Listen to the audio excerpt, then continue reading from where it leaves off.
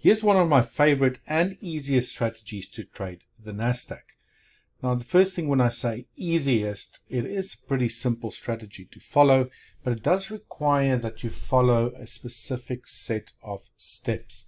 Now, when I say steps, um, I want to see a few things happen in order, and because of that, it forces that I remain disciplined, and it forces me that I remain patient.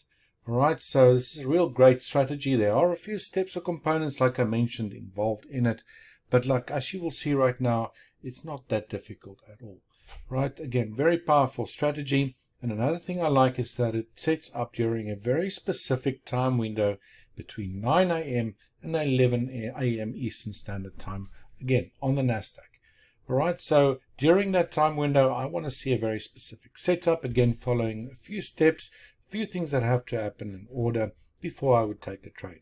It's got a really high winning probability, but I have to mention that if one of those steps fail to appear, then I just wouldn't trade it at all. So it forces discipline, like I mentioned, uh, it allows you to stay focused during a two-hour time period, and it also, again, uh, forces you to remain very patient, which are very cool attributes to have, or necessary attributes to have for anyone trying to trade the market. All right, so the first thing I want to do is go to, let's say, yesterday's price action. And I like to open my computer screen to trade this strategy on the NASDAQ, uh, or open my trading platform, sorry, should I say, before the 9 a.m. Eastern Standard mark, all right, or time stamp. And what I like to do is use my vertical tool and go drop two lines at the 9 a.m. and the 11 a.m. timestamps. All right. So it is during this time period over here that I'll be interested in taking a trade. All right. Again, following very few specific steps that I need to see. All right. So that is actually the first step. Go and mark out those two time stamps, the 9 a.m. and the 11 a.m. mark.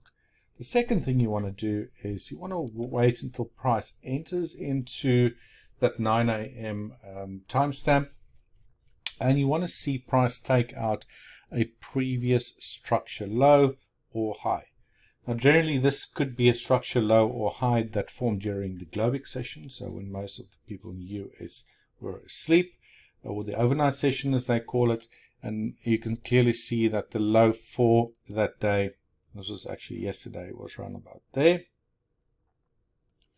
and the high leading into the 9 a.m. to 11 a.m. window was around about there all right so that's the second step can mark those highs and lows if you're dealing with very strong trends you might not get reversals like this but in this specific um, um, strategy I want to see uh, price take out a higher low of an overnight session, higher low or Globex session, some might call it, and then immediately see a reversal. Again, this all is done on a five minute time frame. All right. Um, there is also a different way that we can actually do trend continuation trades, but that's also a different video for a different day. Right. First step, mark off the time window, 9 a.m. to 11 a.m. Second step, quick recap mark off the low and the high of the overnight session and then see what happens as price enters that time window. Here we can clearly see as price basically into the time window, it took out this previous structure low that was set during the Globex session and we had a reversal to the upside. Again, obviously this is done in hindsight. There's a few more things that we're going to look at as to how to actually enter this. We've also seen actually what we call a sweep above the overnight session I also followed by reversal right? So there's actually two entry opportunities or two trading opportunities are set up on this particular day. Now, once price takes out one of your highs or lows, depending what direction price is moving into that time zone, you want to immediately see a reversal. Right, so we've got a first step time zone, second step highs and lows, take out and want to see a reversal. The next thing you do, and this is the third step, is you go to a one minute time frame. Right, and we're going to be using the one minute time frame as our actual entry time frame. And there's a few things we want to see here as well. So after step one and 2 has been completed. Step 3, I want to see a break of price structure. What do I mean by price structure? In this case, price was making lower lows, lower highs, lower lows, lower highs, lower lows, lower highs, lower low, lower high. Get it broken over here already in within that time zone that we want to trade in. Um, sorry, the previous low, and then made another low, but then at some stage you start making high, high, high, low, and then broke the previous structure high there, which was a lower high. All right. Again, another potential, just from a price um, action perspective, an indication that we might get a trend reversal. All right. So shift in price structure. Right. That's the third step. Shift in price structure. Now, fourth step, as soon as you see a shift in price structure, again, this on a one minute time frame and all of the other steps have already occurred, you want to see what is called a fair value gap. Now, fair value gaps basically occur when you, and it's a three candlestick formation. Let's say, for example, in a bearish move, you see a candle moving lower. You have another candle moving lower, and then you have a third candle moving lower. Then between your first and your third candle, you have a candlestick that creates a gap between the low of the first candlestick and the high of the third candlestick. So basically creating a gap, what it's called a fair value gap. Now price would generally reverse back, not always, into a fair value gap and find in this case, when you're in a bearish scenario, find resistance there and get rejected back to the downside.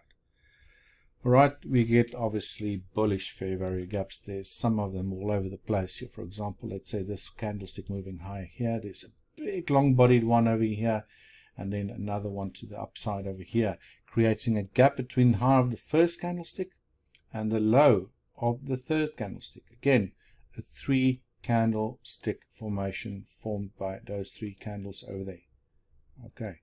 So that's what a fair value gap is. Price often returns back to them and finds support and resistance. But not always, obviously. This is why I want to be using fair value gap as a trade entry location, but only after my first three steps have taken place. All right, so again, just quick recap. Mark off the 9 a.m. to 11 a.m. mark. Number two, mark your highs and lows during Globex session. Number three, you want to see a break of that and a shift of price structure. Once that occurs, do we have a fair value gap that occurred right prior to price taking out that price structure? Okay. And you can see here that the only one that has occurred, or actually there was two after each other. There was a one little one over here, which created the gap between this candle, this candle, and this candle. And then we also had another one between this candle, this candle, and this candle right over there.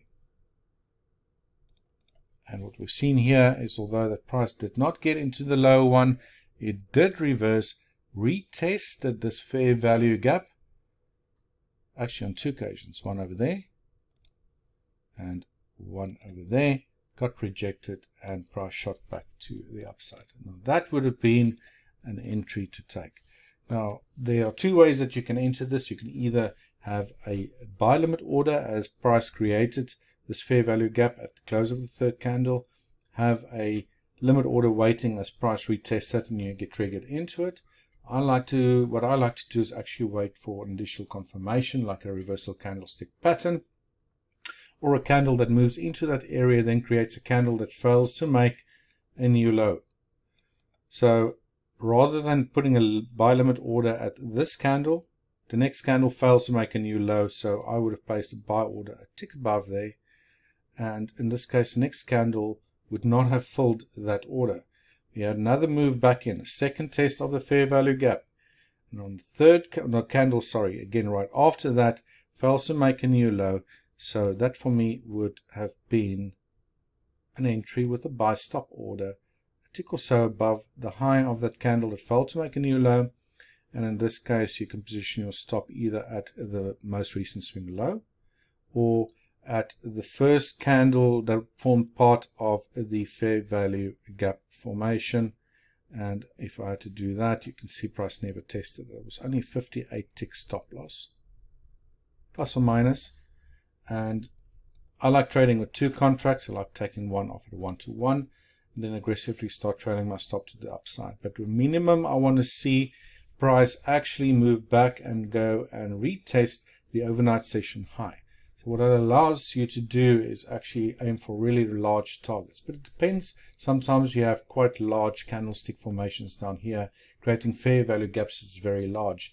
So with the NASDAQ, obviously, you've got to be careful if you're dealing with very long ranging candlesticks, or let's say have a very large fair value gap, and you go and place your stop loss at an area below a recent swing low, in this case for a bullish setup, or at the low of the first candle that created the fair value gap or that forms part of the fair value gap, there might be too much risk involved. So always got to, you know, consider what your risk would be. In this case, the risk for me personally would have been pretty small. So that would be in a setup that I would be interested in taking. And then targeting after I take my first uh, uh, stop loss off the overnight session high. In this case, it actually ran over a 1 to 3 ratio. I know traders that just put a definite get out of the market at a 1 to 2 ratio. But in any case, what I'll also like to see is at least a 1 to 2 risk reward ratio towards that overnight session high. In this case, it was actually over 1.2, 1, 1 to 3, sorry. And uh, that's also additional qualification that I want to see for um, me to, in order to take the trade, right? So risk is very, very, very important.